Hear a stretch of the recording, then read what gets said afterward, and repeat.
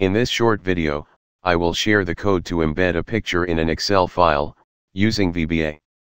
If you like this video and want more videos like this, please subscribe to my channel.